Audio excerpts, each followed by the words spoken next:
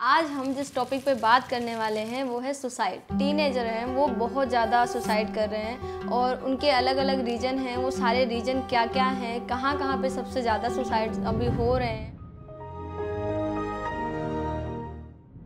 सबसे पहले बात करें तो कुछ ऐसे स्टेट्स हैं, Maharashtra MP Tamil Nadu, Orissa suicide attempt करते हैं। प्रेजेंट सिचुएशन अगर देखा जाए तो हर साल 2019 हो गया 2021 हो गया, जो डेथ रेट है, जो इनके सुसाइडल केसेज हैं, वो बढ़ते ही जा रहे हैं और बहुत ज़्यादा बढ़ रहे हैं। क्या क्या रीजन है, इनकी बात कर लें। एजुकेशनल रीजन मेंटल हेल्थ और साइबर बुलिंग हो गया, इस तरह से कई रीजन है। इन सारे रीजन को हम आज यहाँ पे अच्छे से एक्सप्लेन करने वाले हैं। कुछ आपको नया टॉपिक लगता है कि यहाँ पे ये बताना चाहिए तो आप कमेंट में ज़रूर बताना। एक्चुअली होता क्यों है सारी चीज़ें पहला अपना टॉपिक है एजुकेशनल प्रेशर जो टीनेजर्स है, जो स्टूडेंट है, उनसे बहुत ज़्यादा एक्सपेक्टेशन किया जाता है। प्रेशर में आके बच्चा कोशिश तो करता है, लेकिन मान लो अगर उसके मार्क्स कम आ गए या फिर नहीं सक्सेस हुआ तो कुछ ऐसे होते हैं जो कि अपने आप को रिकवर कर लेते हैं और कुछ ऐसे होते हैं जो कि अपने आप को नहीं कर पाते हैं रिकवर और वो सुसाइडल अटेम्प्ट करने के लिए मजबूर हो जाते हैं।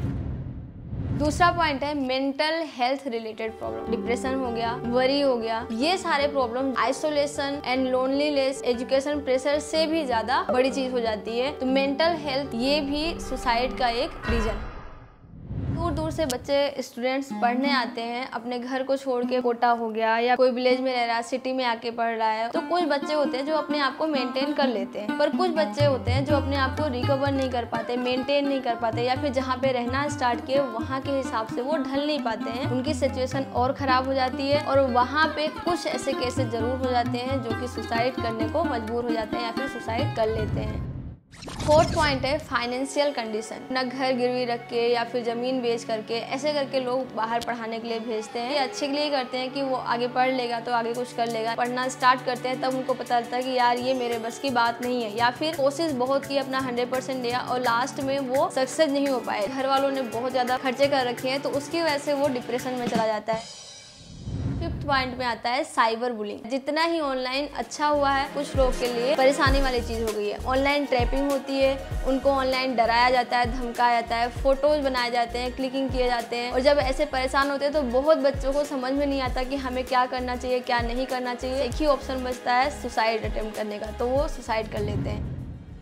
सिक्स पॉइंट है ड्रग एब्यूज बाहर जाते हैं पढ़ाई करने के लिए और वहाँ पे उनको अच्छी अच्छी संगति मिलती है। तो ये ड्रग्स वगैरह जब लेना चालू करेंगे, अलग से खर्चे हो जाते हैं। कंडीशन बिगड़ने लगती है, बच्चा डिप्रेशन में जाने लगता है। लैक ऑफ़ सपोर्ट यानी सपोर्ट की कमी जो होती है। पेरेंट्स अगर सुन रहे होंगे तो उन्होंने भी फील किया होगा। वो बच्चे, बचपन से पूछते रहते हैं कि हम कहाँ पे जाए, हमें गाइडेंस अच्छा मिले। उनको ट्वेल्थ तक ही नहीं पता रहता कि हमें क्या करना चाहिए, क्या नहीं करना चाहिए। और कुछ बच्चों को इतना चढ़ा दिया जाता है तो बहुत पढ़ने में तेज है, बच्चा बहुत टॉपर है क्लास का। इस चक्कर में वो किसी से भी क्वेश्चन पुटअप नहीं कर पाता, पूछ नहीं पाता। और अगर छोटा क्वेश्चन होगा तो मेरी इंसल्ट हो जाएगी। अपने दिमाग के अंदर ही सोचता रहता है कि यार ऐसा कैसे होगा, ये कैसे होगा, वो कैसे होगा। कुछ बच्चे होते हैं जो कि सेट हो जाते हैं कि नहीं, कोई बात नहीं है तो पूछना चाहिए, लेकिन कुछ बच्चे नहीं पूछ पाते हैं। और उसकी वजह से मेंटल डिसऑर्डर्स होना स्टार्ट हो जाता है। ज़्यादा पढ़ लिख के पागल हो गया, इस तरह से भी कुछ लोग बोलने लगते हैं। क्योंकि कोई भी उसको समझ नहीं पाता उसको किस चीज़ की ज़रूरत थी, किस चीज़ की नीड थी, और हम उस चीज़ को नहीं प्रोवाइड करा पाते। तो वो भी लास्ट में वही जाके पहुँचता है सुसाइडल केस पे। नेक्स्ट वीडियो में आपको ये बताऊँगी कि किस तरह से सुसाइडल केस को रोका जा सकता है। इस वीडियो को जितना से जितना हो सके शेयर करें। अगर न्यूज़पेपर या कहीं ना कहीं पढ़ रहे हो तो रेगुलर दो तीन बच्चे या फिर चार बच्चे ऐसे हैं जो कि सुसाइड कर रहे हैं और वो एजुकेशन से रिलेटेड पढ़ाई से रिलेटेड ही बताते हैं कि ऐसी दिक्कत हो रही है। तो ऐसे ना हो, ध्यान में रखना है, अपने आस के बच्चों को भी समझने की कोशिश करें या फिर टीचर को बोलो कि उनको गाइड करें या खुद गाइड करें, जिससे ये सारी चीज़ें बच सकें और ये वीडियो ज़्यादा से ज़्यादा लोगों तक शेयर